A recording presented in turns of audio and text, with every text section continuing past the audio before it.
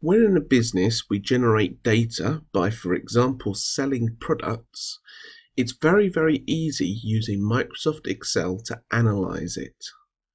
Here we've got just such a spreadsheet and we've got all sorts of information about that product going across.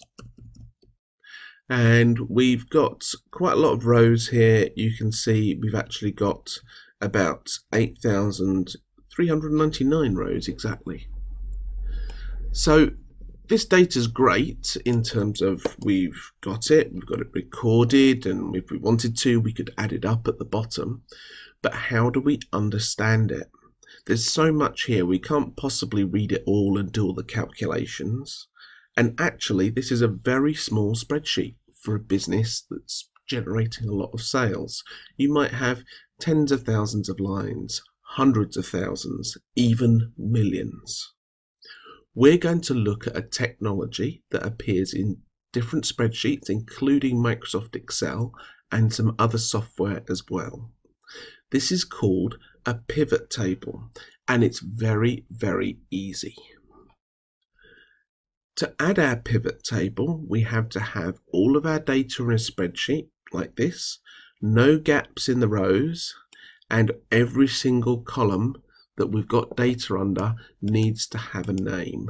And we insert the pivot table by saying insert pivot table, just like that. Now what it comes up with is two things. First of all, here is the pivot table space where it will display it. And over here is the settings. And you drag these things down into the boxes below. So for example, I might want to know how many orders have been placed in total. So I drag this into the values box like that. And it tells me straight away that 214,777 orders have been placed. Now, what if I want to know that by country? Well, I can drag country into the rows box and immediately it gives me a breakdown by country telling me where I've sold the most and where I've sold the least. I can actually, if I click up to the top here, uh, do things like sort this data. So where are we? Uh, sort and sort largest to smallest. And so now we can see exactly what's going on. So maybe I don't want it by country. So maybe I want to know instead uh, by product category, like that. And I can even select the product subcategory and put it beneath, and you can see it breaks it down into a list of lists and gives me a total for each section as well as the individual totals and the grand total overall.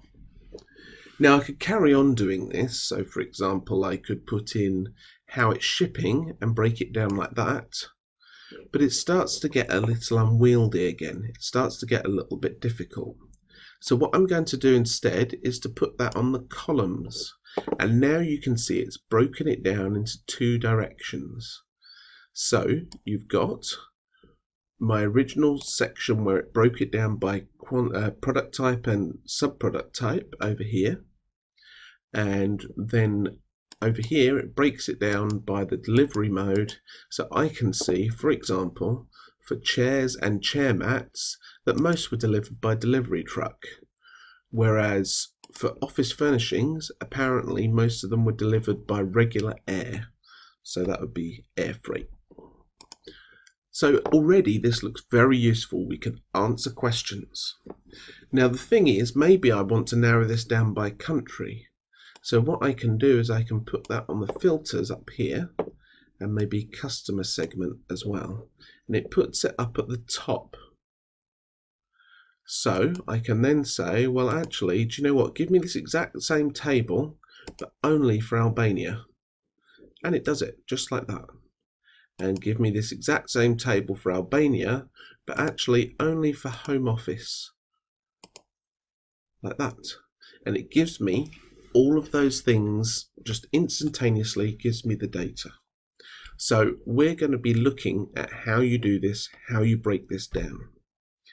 Now there's one last thing I want to have a look at, which is actually you can change what the values are. So at the moment, we have got the data which is all about the sum of the orders. What instead, if I wanted to know with the same breakdown, the average price that things got sold for. So I drag this off, I drag unit price on, but I don't want sum of unit price, I want the average. So I select value field settings. So I'm going to say average in there and it will give me the average prices. Now these look a little bit ugly, they don't look like prices, so let's go back in. Let's go to value field settings and I can click on number format. And instead of it being a general format, I'm going to click on currency. I'm not interested in pennies, so I'm going to reduce that. And I'm going to say OK and OK. And you can see immediately it changes the format so that we can see what's going on. And we can see how much of each thing contributes to the average. Now actually, maybe I just want to see all products again.